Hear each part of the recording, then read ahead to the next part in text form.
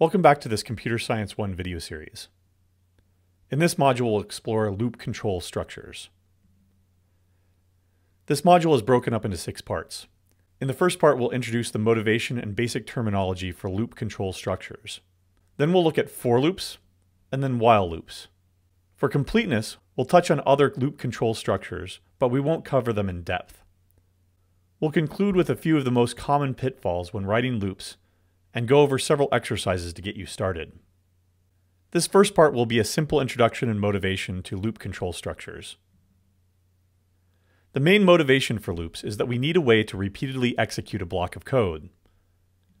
This comes up all the time when processing data, in which you want to apply some operation over and over again to each piece of data. You can't simply cut and paste multiple versions of the same code block because you might not know how many pieces of data that you'll be dealing with when writing the program. Besides, this is a terrible way to code. Copy pasta of any sort inevitably leads to spaghetti code.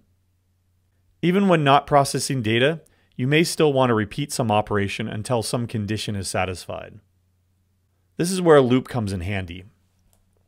A loop allows you to repeatedly execute a block of code while some condition is still satisfied. In other words, while some Boolean expression or condition evaluates to true, the loop will continue to execute. Once the condition is no longer true, the loop terminates its execution and normal control flow continues. We refer to each loop execution as an iteration. There are several different types of loops that we'll cover shortly, but each type of loop has the same general components.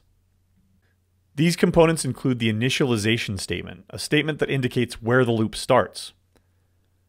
A continuation condition, which is a Boolean statement that specifies whether or not the loop should continue its execution. If the condition evaluates to true, the loop will execute for at least one more iteration.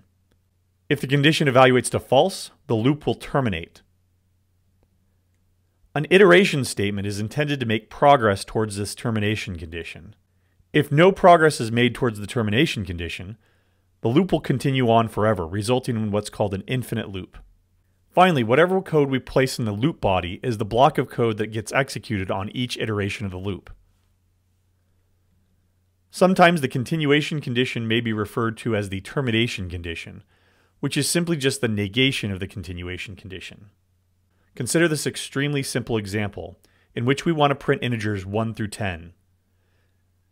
The initialization condition is simply that we're setting up the variable i to have a value of 1. We want the loop to continue while i's value is less than or equal to 10. This gives us the continuation condition. The loop body will simply print out the value stored in i, which changes on each loop. To make progress towards the termination condition, we'll increment i by adding 1 to it on each iteration. We then jump back to step 2 and repeat this process until the continuation condition is no longer satisfied. Here's the basic idea illustrated as a control flow diagram. We start with the initialization statement. The continuation condition is evaluated at the start of each iteration. Since 1 is less than or equal to 10, we enter the loop, execute the body, perform the iteration, and loop back around to the start of the loop. This cycle forms a loop, which is why we call them loops.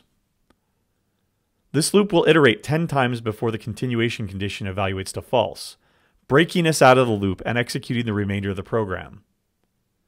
We'll use this simple example to introduce the different types of loops next.